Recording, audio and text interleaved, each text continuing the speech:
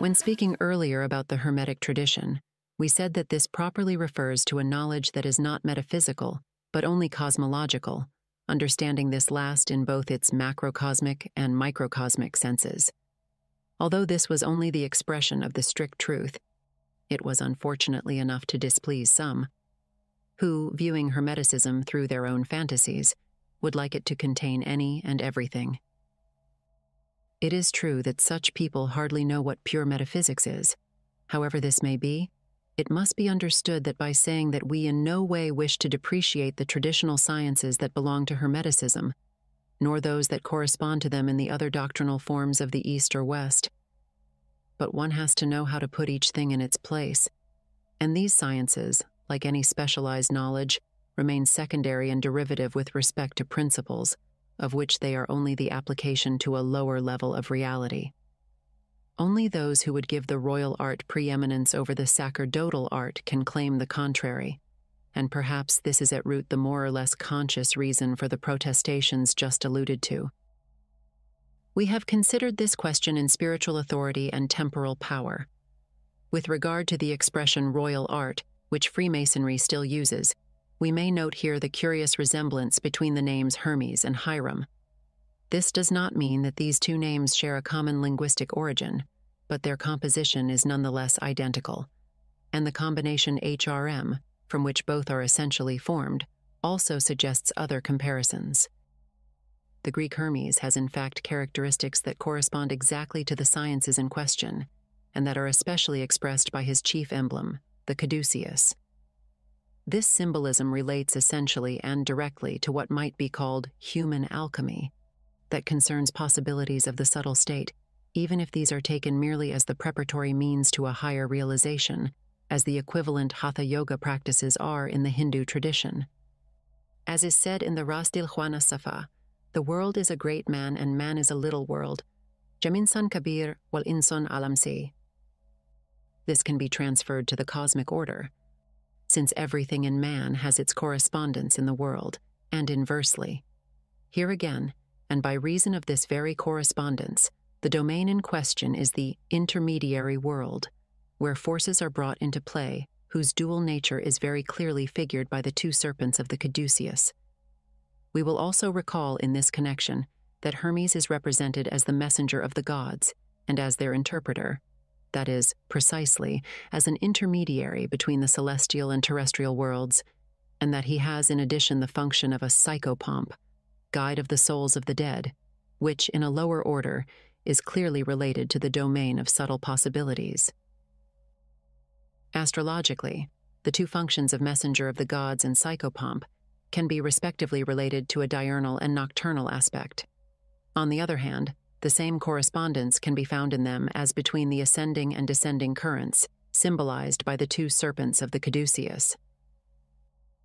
It might be objected that in Hermeticism, Hermes takes the place of the Egyptian Thoth, with whom he was identified, and that Thoth properly represents wisdom, which relates to the priesthood as the guardian and transmitter of the tradition.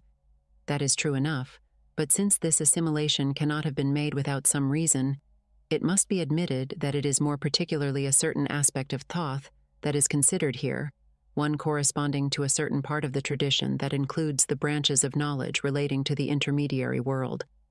And in fact, all that can be known of the ancient Egyptian civilization from its vestiges shows precisely that this kind of knowledge was much more developed there and had acquired more importance there than anywhere else.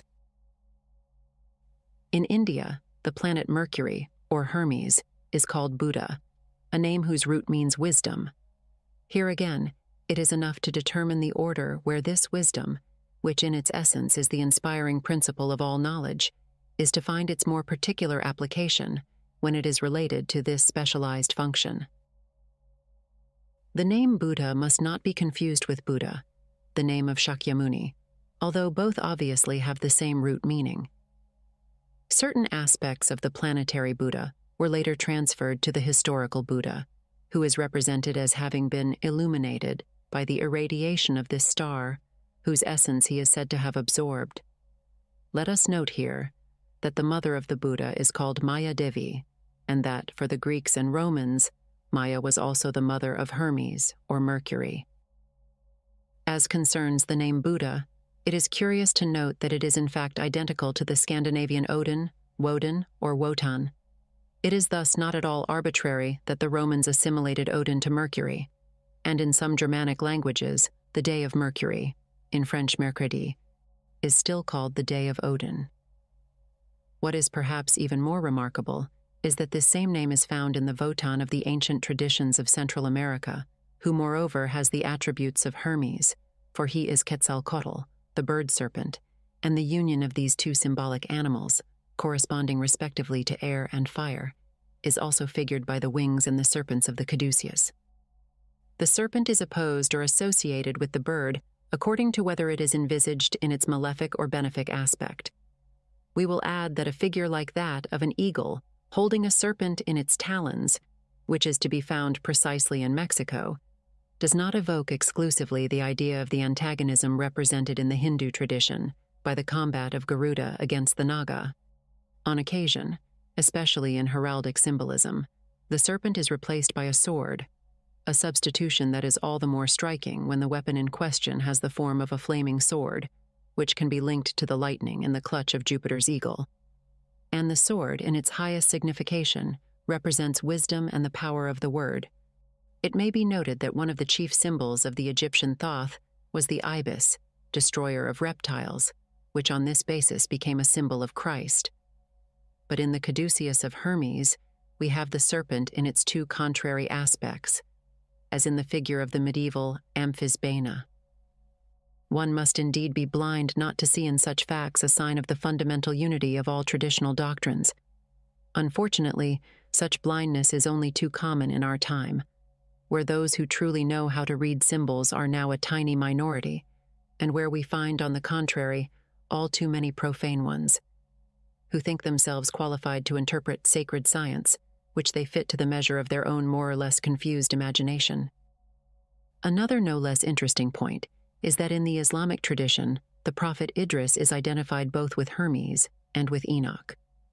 This double assimilation seems to indicate a continuity of tradition going back before the Egyptian priesthood, for this latter merely inherited what Enoch represented, and he manifestly relates to an earlier period.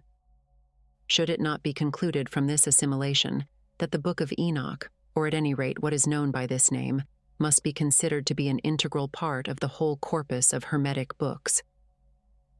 On the other hand, some also say that the prophet Idris is the same as the Buddha. What has already been said shows well enough how we are to understand this assertion, which really refers to Budha, the Hindu equivalent of Hermes. It could not refer to the historic Buddha, whose death is a known fact, whereas Idris is expressly said to have been transported alive to heaven which corresponds precisely to the biblical Enoch. At the same time, the sciences attributed to Idris and placed under his special influence are not the purely spiritual sciences, which are attributed to the prophet Isa, that is, to Christ, but the sciences that can be qualified as intermediary, among which alchemy and astrology belong in the first rank. These are indeed the sciences that can properly be called Hermetic. But this brings us to another consideration which, at least at first glance, might seem to indicate a rather strange reversal of the usual correspondences. Among the principal prophets, a particular one, presides over each of the planetary heavens and is its pole, Al Qutba. Now it is not Idris who presides over the heaven of Mercury, but Isa or Jesus, whereas Idris presides over the heaven of the sun, and this naturally involves the same transposition in the astrological correspondences of the sciences that are respectively attributed to them. This raises a very complex question that for the moment we will confine to a few remarks, which will perhaps enable us to glimpse the solution, and will in any case at least show that there is something altogether different here from a simple confusion, and which what might pass for such in the eyes of a superficial and outward observer is in reality based on very profound notions. First, this is not an isolated case among all the traditional doctrines, for one can find something similar in Hebrew angelology. Generally, Michael is the angel of the sun, and Raphael is the angel of Mercury. but it sometimes happens that these roles are reversed. On the other hand, if Michael, insofar as he represents the solar Metatron, is esoterically assimilated to Christ, Raphael, according to the meaning of his name, is the divine healer, while Christ also appears as spiritual healer and as restorer. One could find also other connections between Christ and the principle represented by Mercury among the planetary spheres. Perhaps it is here that one must see the origin of the error committed by those who consider the Buddha to be the ninth avatara of Vishnu. In reality, this is a manifestation related to the principle designated as the planetary Budha. In this case, the solar Christ would properly be glorious Christ, that is, the tenth avatara, who is to come at the end of the cycle. We will recall as a curiosity that the month of May takes its name from Maya, Mercury's mother, who is said to be one of the Pleiades, to whom that month was formerly consecrated in ancient times. Now in Christianity, it has become the month of Mary by an assimilation, doubtless not merely phonetic, between Maria and Maya. If Hindu doctrine considers the Buddha as being the ninth avatara of Vishnu, that is the foreign avatara, this does not necessarily exclude other divine interventions that have taken place on behalf of foreign, non Hindu peoples during the same period. In particular, Christ might be said to share with the Buddha the ninth avataric function, since his first coming was for the West, what the advent of the Buddha was for the Far East, and what the Quranic descent was for the Middle region. Now, as we have seen in connection with the Buddha, the ninth avatara is a mercurial manifestation.